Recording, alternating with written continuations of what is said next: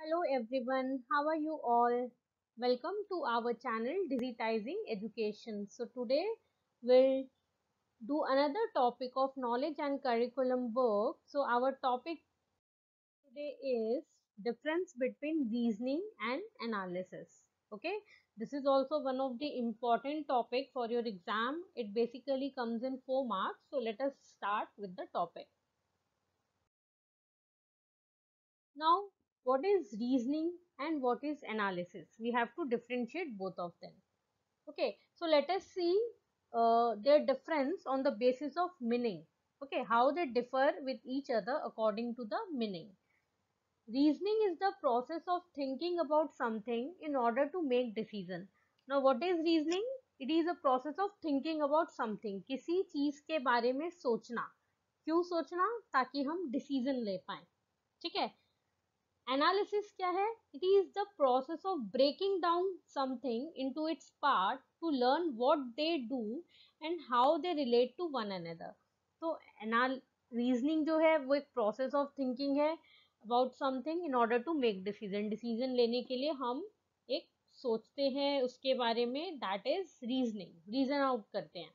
Analysis क्या है? हम किसी चीज़ को ब्रेक डाउन करते हैं डिफरेंट पार्ट्स में। ठीक है?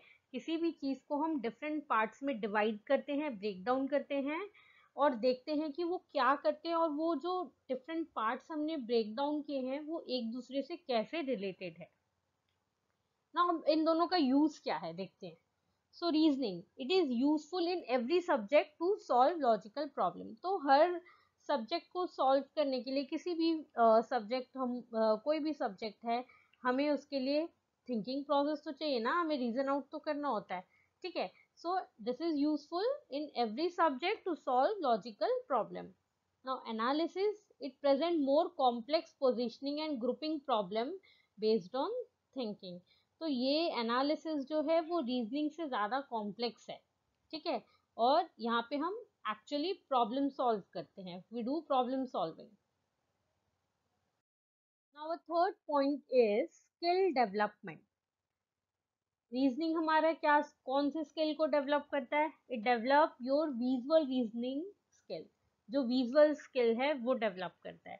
एनालिसिस क्या करता है? It develop the ability to solve problem by thinking and critical way तो ये हमारे थिंकिंग जो एबिलिटी है, उसको सॉल्व करता है और एक बहुत क्रिटिकल वे में, क्योंकि ये बहुत कॉम्प्लेक्स है, इसमें हम बहुत कॉम्प्लेक्स प्रॉब्लम सॉल्व करते हैं। ना स्कोप क्या है दोनों का? रीजनिंग जो है ना, वो उसका स्कोप एनालिसिस से नैरो है, छोटा है। क्यों है? बिकॉज़ रीजनिंग जो है ना, वो एनालिसिस का ही एक पार्ट है। जब हम एनालाइज करते हैं तो उसमें भी हम रीजनिंग को यूज़ करते हैं।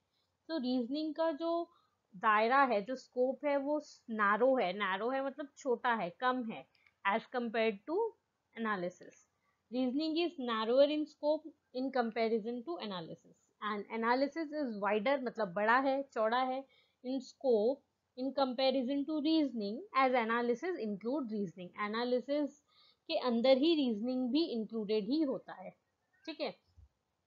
तो ये जो हम डिफरेंस देख रहे हैं ना जिस तरह से मैंने आपको प्रेजेंट किया है ऐसे बॉक्स बना के और तीन सेक्शंस uh, बना के कि हम किस बेसिस पे उनको डिफ्रेंशिएट कर रहे हैं ठीक है?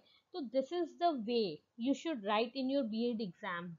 See, it represent your answer so clear way, right? So this is the way you should use in your exam. मैं आपको जो भी notes provide कर रही हूँ जैसे भी explain कर रही हूँ मैंने वैसे ही इसको प्रेजेंट किया है जैसे आपको एग्ज़ाम में लिखना चाहिए the right way the actual way of writing in the exam okay So this question basically comes in four marks. So four points are enough for that. Four marks के लिए हमारे को इतना लिखना sufficient है ठीक है So okay, so we have completed the topic.